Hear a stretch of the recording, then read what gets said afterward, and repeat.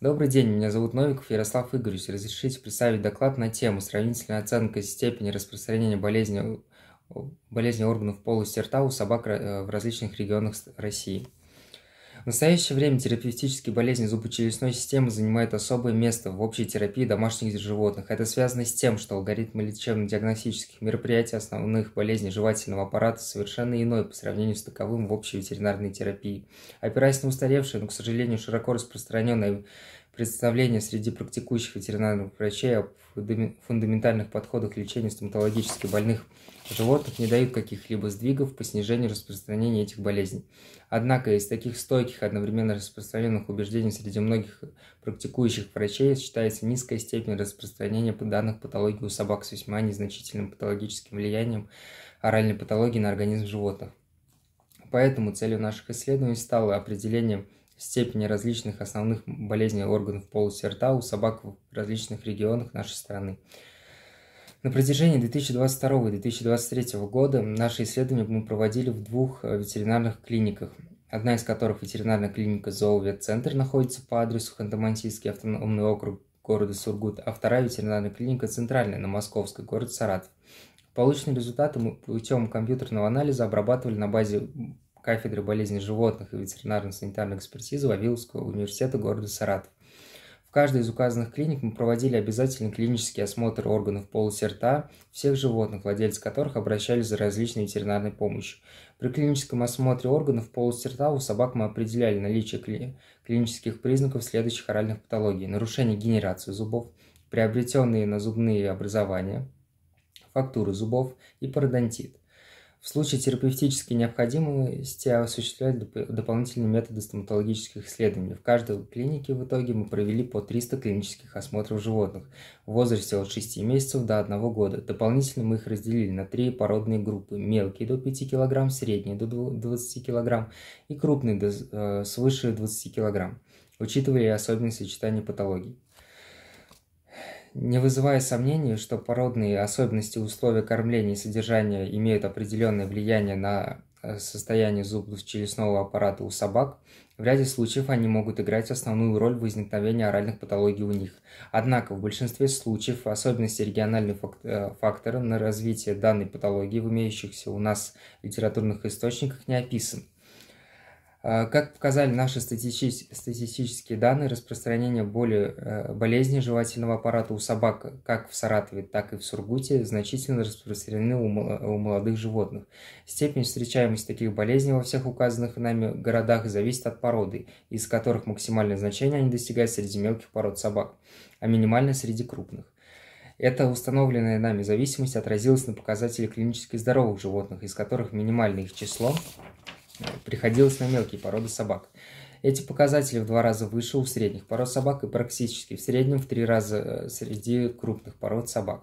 Однако, если анализировать данные клинические здоровых животных по болезни орган, органов э, зубочелюстной системы в зависимости от региона, их содержания, то в городе Саратов эти показатели среди различных пород собак были выше в среднем на 10%. Максимальную разницу мы выделили у средних пород собак.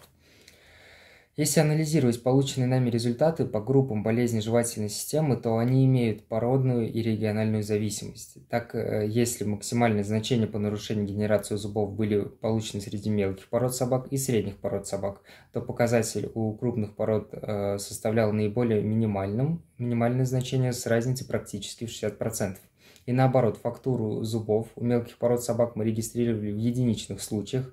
У средних пород этот показатель резко увеличивался, а максимальное значение он достигал среди крупных пород собак. Следует особо выделить то, что максимальные статистические значения нами были получены по сочетанию показателями показателям, которые составляли до 90% от всех изучаемых нами э, видов Региональное влияние мест разведения домашних животных, как мы, как мы думаем, имеет определенное э, воздействие на данную группу болезней. Учитывая географические особенности разведения различных пород собак, то наши данные свидетельствуют, что оральные патологии в северном регионе регистрировались на 10% чаще, чем в, реги... Э, в регионе э, Среднего Поволжья. Это дополнительно подтверждало и возрастной, дина... возрастной динамикой встречаемости болезни зубочелюстной системы у собак. Как, пока, как показали наши статистические исследования, как в, в городе Саратове, так и в городе Сургуте, на распространение болезней пародонта влияет возраст животного. Максимальное значение аднопатии, адонтопатии, э, доходящее до 90% среди исследуемых нами животных, мы регистрировали в возрасте 6-7 месяцев во всех указанных городах. Э, такой цифровой показатель достигал за счет высокой степени распространения этих э, болезней среди мелких пород и отчасти средних пород собак. Здесь лидирующие места занимали различные нарушения генерации зубов и приобретенные на зубные образования. С, возрастом динамика распространения болезни жевательной системы плавно снижалась, и эти показатели стали снижаться на 27-33% по сравнению с первоначальными. Дополнительно, эм, как мы считаем, высокие показатели встречались адонтопатии складываются за счет сочетания болезней. Анализ протоколов приемов э, животных показал, что в возрасте, э, возрастное снижение излучаемых болезней зависело не от возрастных преобразований растущего организма молодых животных, не от возрастного и очередного этапа а, адонтогенеза, а вследствие своевременного оказания необходимой стоматологической помощи и лечебных коррекций при нарушении генерации зубов. Возраст, э, возрастное плавное снижение орального, оральной патологии мы наблюдали до конца наших исследований. Однако при таком снижении, которое, надо сказать, было во всех ветеринарных клиниках, показатели незначительно э, превалировались в ветеринарной клинике города Сургута на 5-7%. Эта разница получалась за счет высоких показателей фактуры зубов, пародонтита и сочетаний пародонтопатии. В конце наших исследований все интересующие нас э, показатели были на минимальных значениях, однако эти показатели по сравнению с первоначальными показателями, хотя и снизились, все равно представляли собой внушительный по степени распространения 53% среди регистрируемых животных в городе Саратове и 58% по сравнению с таковыми в городе Сургуте. В первую очередь, анализируя полученные нами статистические данные, мы приходим к выводу о высокой степени распространения патологии органов э, полости рта у молодых собак.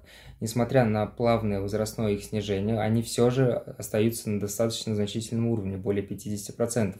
Все это, по нашему мнению, создает серьезную предпосылку для развития стойкой хронической пародонтопатии у собак, которые будут их сопровождать на протяжении всей жизни. Особенно это касается мелких пород собак.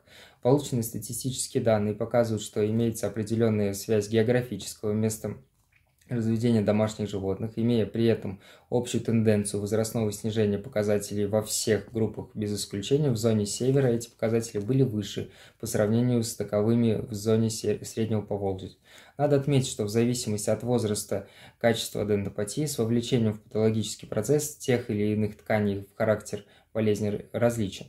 Если в начале наших исследований в пародонтопатии были вовлечены мягкие ткани зубочелюстной системы, то с возрастом животное постепенно вовлекалось в твердые ткани, с плавным распространением патологии в более глубокие их слои.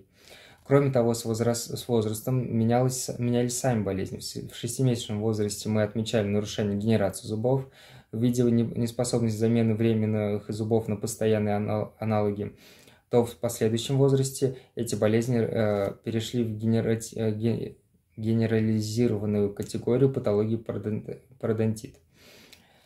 Это как раз подтверждает многим литературный источник касательно того, что а, многие группы болезней зубочелюстного аппарата у собак э, имеют возрастную зависимость. Таким образом, мы пришли к выводу о географической зависимости распространения пародонтопатии у собак, которые дополнительно корректируют э, возрастными особенностями адонтогенеза этих э, животных.